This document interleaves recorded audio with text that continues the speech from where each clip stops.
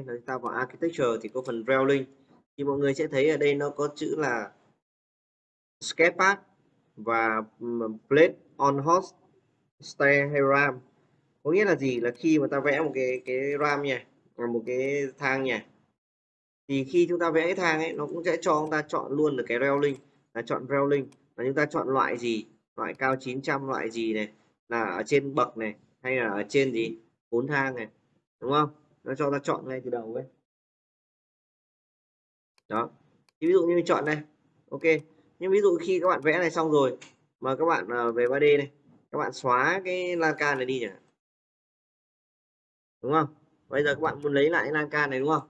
Thì các bạn sẽ vào railing này. Thì đây nó có chữ là gì? Click on host. Nha yeah. à, on stair ram chọn đây. Thì dùng là pick pick ở đây đi thì nó sẽ là treat là trên mặt bậc đây mọi người thấy không? Thấy chưa? Hoặc là trước khi chúng ta pick, nó sẽ cho chúng ta chọn ở đây là loại lan can nào? Loại 900 này. Pick này. Mọi người thấy không? Có nghĩa là đây là cái cách mà chúng ta lấy lại với ram và stair nhá. Còn phần sketch là gì? Đây, chúng ta sẽ vẽ ở đây. Tôi vẽ lan can chọn đây sketchpad thì các bạn chọn cho tôi một loại, ví dụ như loại 900 này, tôi vẽ từ đây đến đây tôi chọn đây là 6.000 chẳng ví dụ finish tiếp tục. Vẽ một cái là file này.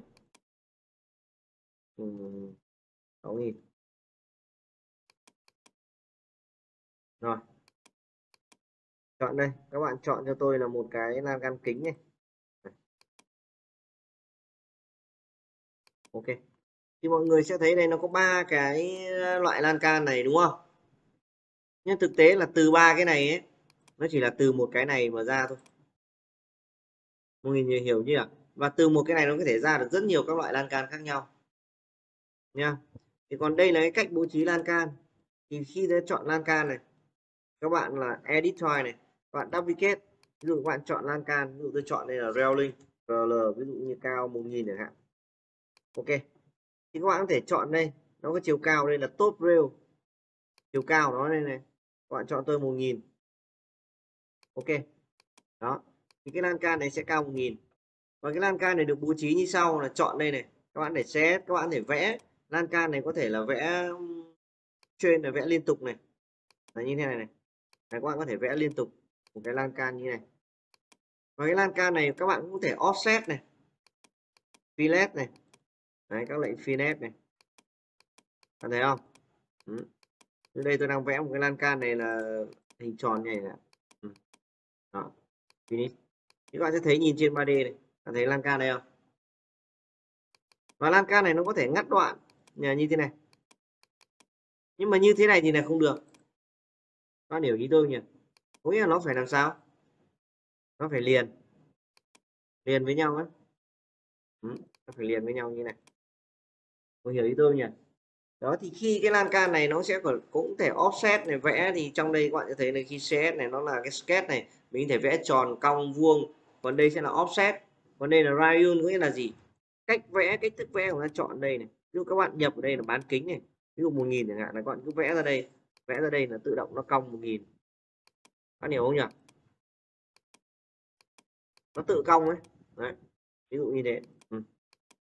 bạn sẽ nhìn này. Đây cái lan can này có điều với đề không nhỉ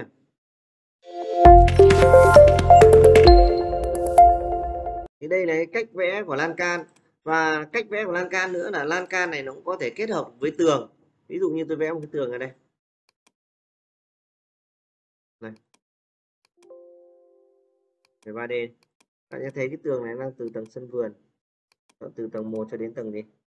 Tầng 2 giờ xem bằng không tôi xem bằng không này khi tôi chọn cái tường này các bạn có thể vẽ này. Này. Ví dụ như này đúng không? Dream này. Bây giờ các bạn muốn vẽ một cái lan can ở trên này đúng không? Thì các bạn chỉ cần vào đây này.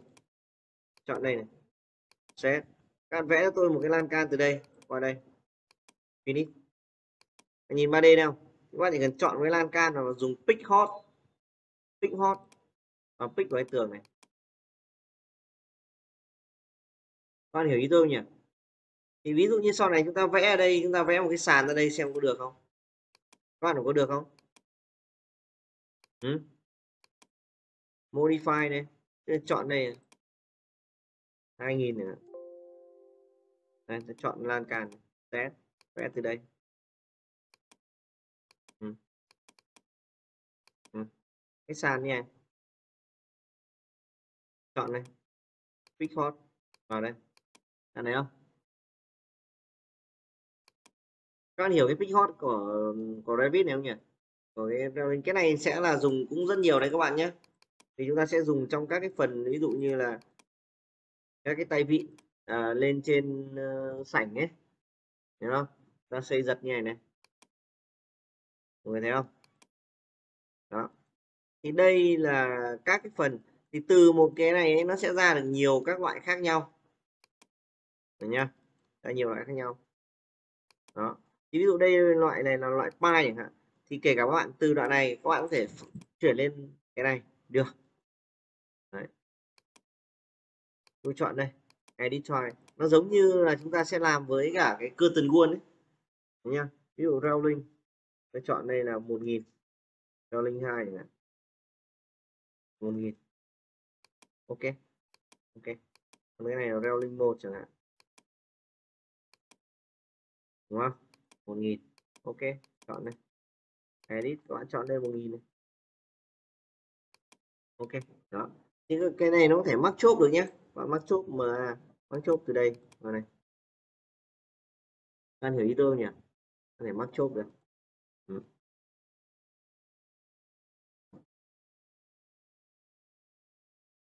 Đấy, có thể mắc chốt được. Còn đây là duplicate này tôi chọn ba cái là rl rl ba. Nghìn chẳng hạn. Ok. Chọn lên một nghìn ok. Ừ. thì đây là cách mà chúng ta sẽ bố trí được cả lan can những các thứ. Ví dụ như là cái công trình này chúng ta bố trí lan can cũng sẽ đơn giản rồi, đúng không? Đúng không? Ví dụ như là công trình này bố trí lan can. Nếu các bạn muốn bố trí lan can thì các bạn sẽ phải bố trí ở đây. Các bạn muốn bố trí lan can kính hay lan can này tôi chọn đây tôi tầng 2 bố trí ở đây. Thì chỗ này các bạn sẽ bố trí từ đây đến đây là một đoạn. Các bạn phải finish lại. Chết, từ từ từ đây đến đây các bạn sẽ phải làm sao? Một đoạn. Được nhá. Từ đây đây. Hai cái này nó giống nhau thì nó là một đoạn.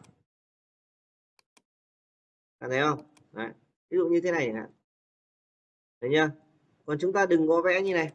Nếu mà chúng ta tiện nhanh ấy, làm concept ta có thể vẽ được như này. Là dùng cái gì? Rectangle này chúng ta vẽ xuyên luôn qua đây này, xuyên qua cột này. Thì thực ra về mặt hình ảnh thì nó không việc gì. Người ý tôi không nhỉ? Nhưng về cấu tạo sau này triển khai nó khó. Và tất cả cái phần dầm này, phần tường này nó đang bị lơ lửng. Bởi vì cái dầm này đang hạ xuống 50 thì vấn đề những cái chỗ như thế này, cái cái ban công này thì các bạn sẽ phải vẽ thêm một cái gì? Thêm một cái tường. Đấy nhá. Unconnected nó sẽ cao lên là bao nhiêu? 200 chẳng hạn, tôi lấy ví dụ ở đây chẳng hạn. Ừ. đây. Đấy.